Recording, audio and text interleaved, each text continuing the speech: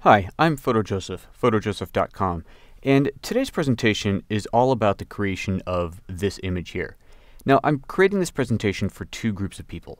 For photographers who are simply interested in how this sort of image comes together, uh, but primarily for clients. And I'm creating this because it's important, I believe, for clients to understand what can go into an image like this and why an image like this can cost as much money as it can cost. The third group would be the end viewer, the end user, if you will.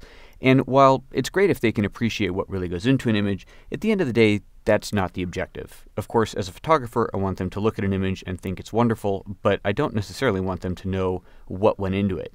If a viewer is looking at this and says, Oh, I can see that you composited this chair and combined these two lights and so on, then to some degree you failed as a photographer.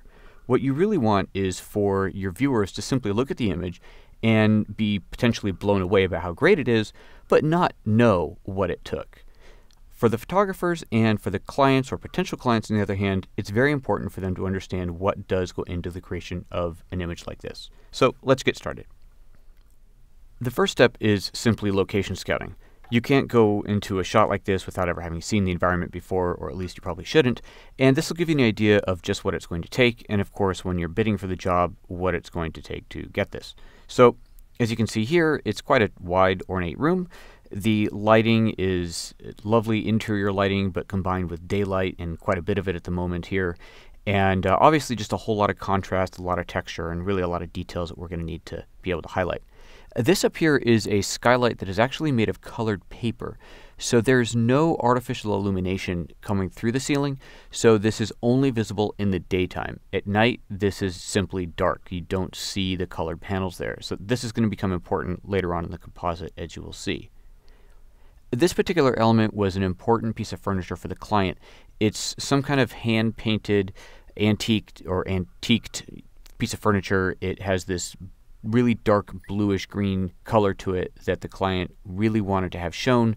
And so this was an important element to make sure that we got right. And as you can see, because it's so dark, that was going to be a particularly challenging element to bring into the whole piece. There's a fireplace, which of course we were going to light for the final composite. And this window screen is another custom built piece and it's painted the same color or pretty close to the same color as that earlier piece of dark bluish green furniture. And here we have very small elements, just the bars on the window screen itself, if you will, that have that color on it. So it's going to be even more challenging than the larger credenza to get lit and composite into the final shot properly. And then here's just a vertical shot just to kind of show the, the overall scope of the scene. It's, again, obviously quite large. The shooting setup is fairly straightforward. Camera, of course, is on a tripod, and these are just a couple of Instagram behind the scenes shots, so nothing too detailed or elaborate here. But of course, the camera is going to be on a tripod for all these shots. You can see on the camera we have a wireless flash trigger, which is uh, going to be very important as we have lights all over the place, including outdoors for some shots. And on the top of that, a wireless receiver for triggering the camera. I could use a cable release, a, a, wired cable release as well. Just wired. wireless is what I happen to have here. And it just makes it easier to make sure you're not ever touching the camera at all. Also shooting tethered. This is pretty important here because we want to be able to see not only myself as the photographer, but also for the client to be able to see that we're getting the shot or at least the elements that they want. Because the room is so full of so many details and really important little elements, we really want to make sure that we capture every last piece of it before we leave. Because once we break set, there's not going to be any coming back to add in a piece later. Once the camera moves, that's it. You pretty much would have to start over again. So there we go there's the basic setup. There's me tethered. Uh, you can see the camera in the background and getting ready to shoot the scene. So let's talk about the final composite. So here we go with the left side of the scene. This is just your basic ambient light environment. The scene is extremely wide, so wider than we could get in a single frame with a single lens, so we had to pivot the camera to capture uh, both sides of it. So here's left half and right half. And the jagged line down the middle, that's just Photoshop's own uh, assembly of the two halves. That's not any kind of fancy hand-drawn line. It's just Photoshop doing its thing. Uh, notice on the right-hand side of this scene, the lamp is a little bit cool. That lamp is actually being illuminated with a small strobe. There was no light bulb that was bright enough to illuminate that corner of the scene the way we wanted. So that is a small strobe, just a Canon speed light that is jerry-rigged into the lamp to illuminate that. However, the color on there you can see is quite cool. So this next shot is the same photo, just at a different color temperature that was then comped in. So going back again, you've got the left side, the right side, and then the lamp on the very right. Comped together gives us this backplate. So this is our, our base plate for the whole thing. This is what is the beginning point of all the compositing that's about to go into it. If you look at this image now, it's not terrible. And if I was being hired to do this shot for a very low budget, this is probably essentially what would get delivered. Maybe a little bit of HDR to bring in some uh, texture in the highlights. It probably a little less warm, but essentially this is what you would get for a low budget shoot of a room like this.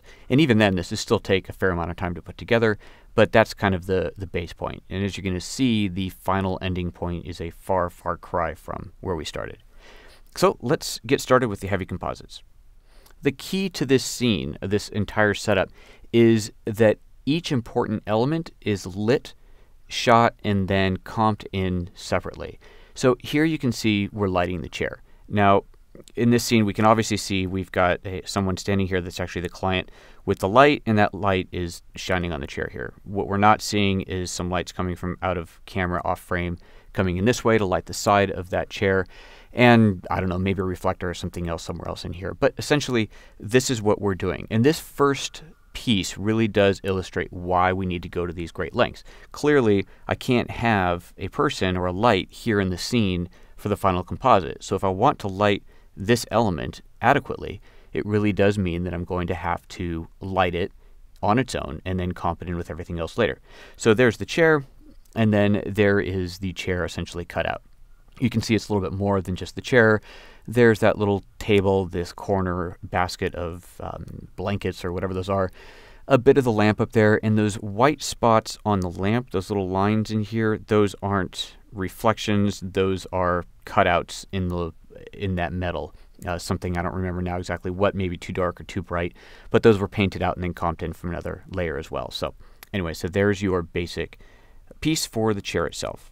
All right, next up, let's see, this is the couch. So, once again, we can see a light clearly in the shot. This light here is bouncing light off the ceiling down onto the couch for the primary light. Uh, there's probably another light coming off camera from over here somewhere. But essentially, here we are photographing the couch itself. So, if we comp that out, there is what we've got. All right, so there's two pieces. next up is the blanket, the throw that's here. Uh, light is coming from off camera somewhere. You can see a reflector here that is probably bouncing some light onto this. So there's the little blanket itself. And if we comp that out, there's what we've got. And then going back to the same shot from here, we pulled out some detail in the ceiling. Somewhere along the way, I realized that I had lost texture up there. And so I used this shot to pull in some texture of that ceiling and that is there. Next up is the green credenza. So again, remember earlier we were talking about this is a very critical piece of furniture, obviously being lit from here.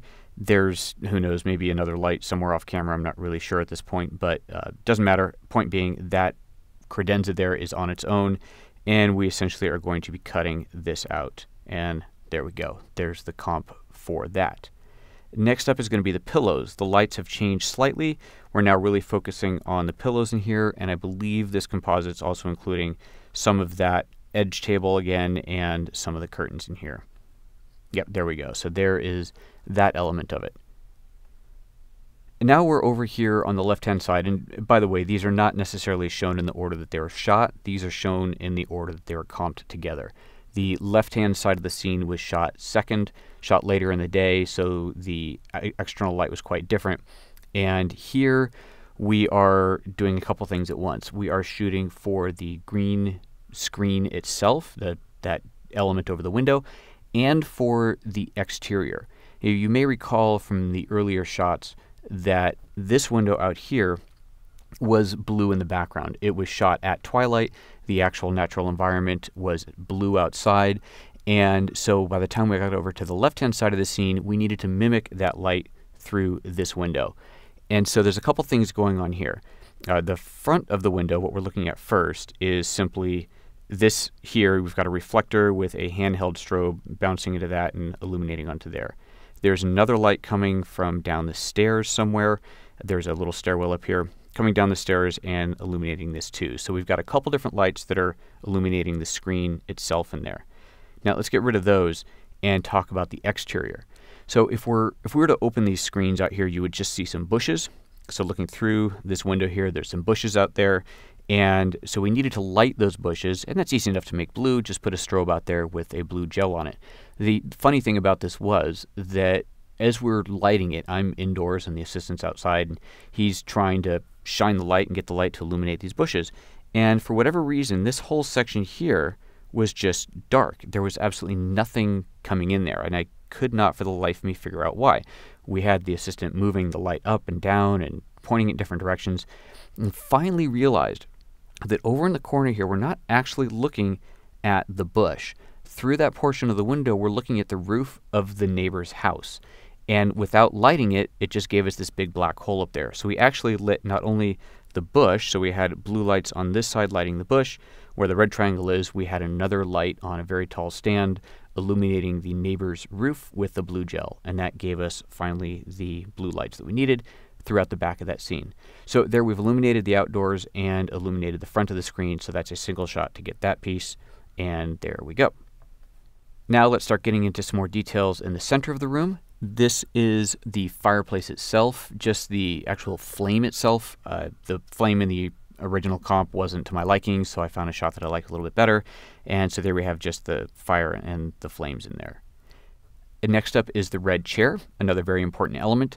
Here we can clearly see we've got a light here shining down, we've got a light here shining down, and if you look closely in here, you'll see that there is a small light behind this yellow and green thing that is shining on the back of that chair just to give that a little bit of separation from the background. So quite a few lights in that, comped out, and we have the red chair, and it looks like a little bit of the coffee table and that end table next to it as well. The next layer in here is the texture on the walls behind these lamps in here. So we've got these lamps and clearly a lot of beautiful texture and color happening on the wall behind it. So we wanted to be able to pull that texture out and that is what this layer is all about. So there's that one. And the next one here is just a little bit darker exposure and this is to get the bulbs themselves. So the hottest point out of these here lights and also the hottest point out of this light here. So that is again its own layer. Now we start building the ceiling. So this shot, as you can see by looking through the windows here and here, is shot much earlier in the day. This was in fact the very first shot that we did because we knew that we had to capture this part of the scene while it was daylight because that was of course not going to be illuminated once the sun went down and unless I wanted to climb up on the roof with a 600 watt strobe then it was not going to be possible to shoot that after dark. So we had to shoot that early on and so there is the beginning of that. And you can see there's a few different versions of the same layer that went into this. We have here a layer showing the colors and some of the uh, cove itself. And then here's just another opacity layer on there just to lighten it up a bit. I honestly don't remember exactly what this is, but it's just another layer of texture on there. And another shot here, slightly different exposure, pulling in just the paper elements themselves. And then, of course, that all gets comped together. Okay, now we're back to the beginning, back to the base plate. Now we're going to start adding all those layers in one at a time so you can see this build up. So again, this is the original base plate that we saw when we first started. The image that I said, if this is low budget, this is probably what we would get, plus a little bit of HDR to pull in some details out of the highlights. But now let's show how this works when we actually do all this work to photograph each element individually.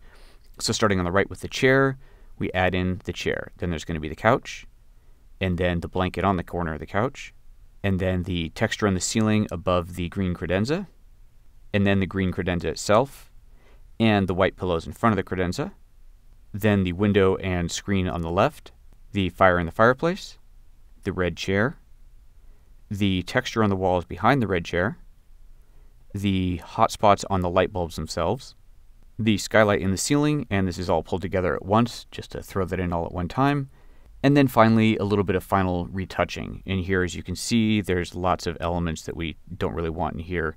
There's vents, and see, there's a vent over here. There's this cove, which is really just a headway to go up the stairs, which is at this point just a distracting shadow, a lamp that's only partially in there we don't really want to see. Let's see, there's a power outlet there, and I think a couple other small elements that were removed. So let's just get rid of all those to clean that up a bit. And there we have it. That is the final composite. So now let's take a quick look at a before and after. So here's the original backplate again, and just a simple wipe over revealing the new version of the image, which as you can clearly see has a vast amount more detail, there's more texture, there's more color, there is more of everything that the client wanted, showing all of the individual elements and individual details that they needed to be seen in this environment. So as you can see, this type of an image does take quite a bit of time and effort and foresight to create. This is not something that happens easily nor automatically. There's a lot of manual work that is involved in this and a lot of hours spent not only shooting it, but also putting it together later. So, for photographers out there interested in this type of work, there you go. There's just a little look behind the scenes at how something like that can be created.